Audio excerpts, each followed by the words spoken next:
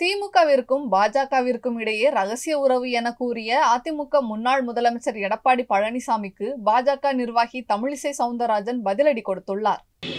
இல்ல இதுல நிகழ்ச்சி வெளிப்படையா தானே நடந்தது? நிகழ்ச்சி வெளிப்படையா நடந்திருக்குது.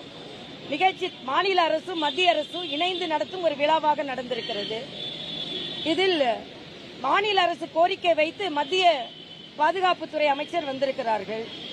ஆக இது அரசு விழா அரசியல் விழா அல்ல. அரசு விழா அரசு விழாவாக பார்க்கப்பட வேண்டும். அரசியல் விழா அரசியல் விழாவாக பார்க்கப்பட வேண்டும். அரசியல் விழாக்களில் இவர்கள் கலந்திருந்தால் அது ரகசிய உறவா வெளிப்பட்ட உறவான்லாம் சொல்லியிருக்கலாம் இது அரசு விழா. இப்படிப்பட்ட ஒரு ஆரோக்கியமான சூழ்நிலை நான் வர வேண்டும் நினைக்கிறேன். அரசு விழாவில் மாநில அரசும் மத்திய அரசும் ஒன்றாக வரும்பொழுது அது அரசியல் விழாவாக அது ஏற்றுக்கொள்ளப்படக்கூடாது எடுத்துக்கொள்ளப்படக்கூடாது விவாதமாக்கப்படக்கூடாது என்பது எனது கருத்து. மத்திய அமைச்சர் மத்திய அமைச்சர் திரு ராஜ்நாத் சிங் கலைஞர் குறித்து உண்மையாக மனசுல இருந்து பேசியிருக்காரு முதலமைச்சர். கூட்டத்தில் எது பேசினாலும் அது அவர் நேரடியா பேசினது தானே. அதாவது இன்னொரு மாற்றுக் கட்சி தலைவர் அவரிடம் இருக்கும் நல்ல தன்மைகளை எடுத்துச் சொல்வதில் தவறில்லை.